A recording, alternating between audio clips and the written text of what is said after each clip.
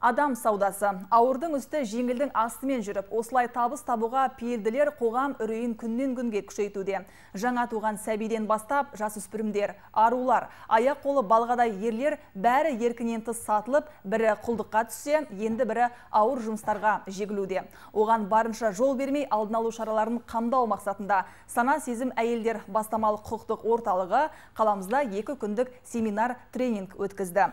Басқосуға оңтүстік Қазақстан, Жамбыл және Қызылорда облыстарының еңбек инспекторлары мен полиция қызметкерлері сондай-ақ психологтар қатысты. ақш елшілігінің өкілі адам саудасына қарсы тұруға бір ғана елдің күші жетпейтінін айтып бірлесе жұмыс атқаруға шақырды еліміздегі халықаралық көші қон жөніндегі ұйымның статистикалық деректеріне сүйенсек соңғы 10 жылда түрлі мақсатқа шетелдерге сатылған адамдардың дені қазақстандықтар болып шыққан. Дүние жүзінде есірткі мен қару жарақ сатудан кейінгі қатты дамыған адам саудасы өкінішке қарай біздің елімізді де жаулап барады дейді үкіметтік емес ұйым өкілдері.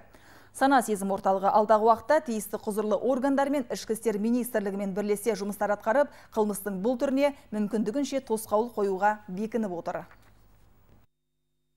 Ең басты мақсатымыз осы ішкі істер қызметкерлерімен еңбек инспекция еңбекті бақылау инспекциясының қызметкерлерін біріктіріп адам саудасы деген өзекті мәселелерге көңіл аудару оған осыған орай біз екі аталған екі министрлікпен бірге отырып арнайы инструкцияларды шығарғанбыз. Оны бүгін ресми түрде тұсаукесер рәсімі деп айтуға болады.